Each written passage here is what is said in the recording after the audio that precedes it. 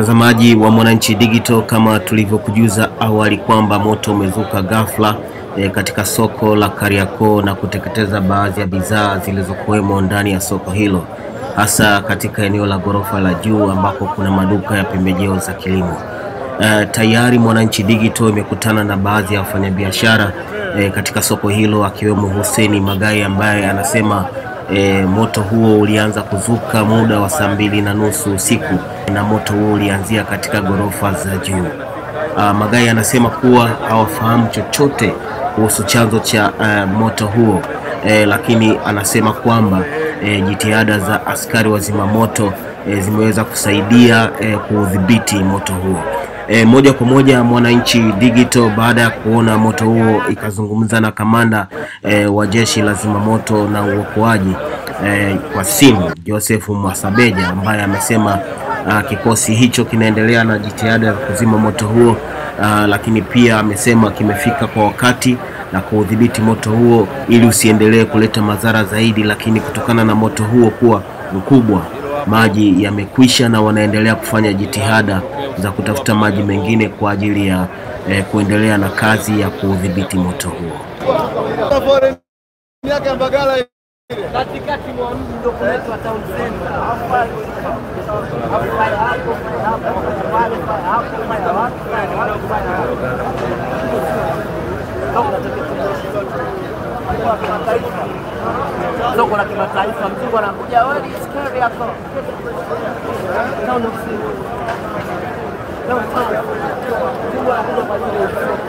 Wajerumani wanakuja kwa karibu.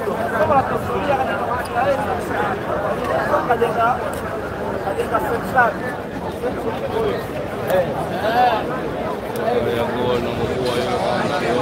visokosoko vya kisuri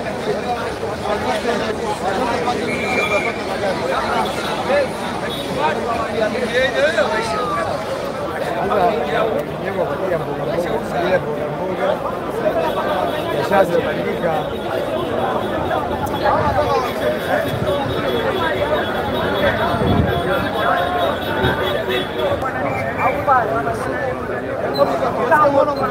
inakuchukua alama nani yale yale ma chama wote wote kama kama mabomu Mtazamaji wa Mwananchi Digital, kama nilivyokujuza tayari, magari ya zimamoto yanaendelea na wajibu wake wa kuzima eh, moto huu ambao umeshika kwa kasi zaidi. Uh, kama unavyoona hapa magari yanaingia na kutoka, yanaingia yanaenda kuchukua maji, yanatoka yanarudi kwa ajili ya kuhakikisha kwamba eh, yanadhibiti kabisa moto huu usiendelea kuenea eh, katika eneo maeneo mengine na kusababisha athari kubwa eh, kwa, kwa, kwa, kwa watumiaji wa soko hili. Elfu ya wafanyabiashara e, wa, wa, wa, wanatumia soko hili kwa ajili ya kujipatia riziki, na ndio maana unaona sasa jeshi la zimamoto linaendelea na shughuli yake ya kuhakikisha kwamba linadhibiti kwa kiasi moto huu ili usiendelee kuleta madhara katika maeneo mengine.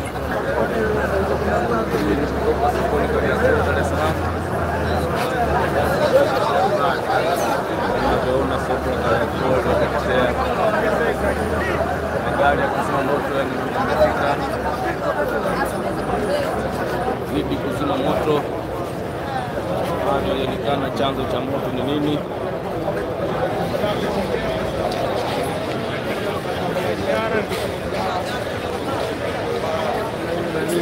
Maji hayafiki. Maji yanachukua moto unazidi kuzima.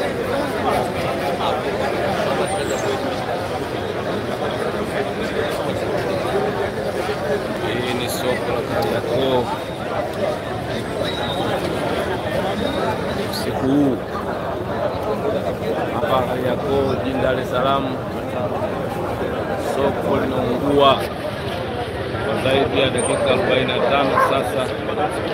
Moto mkubwa umewaka. Chini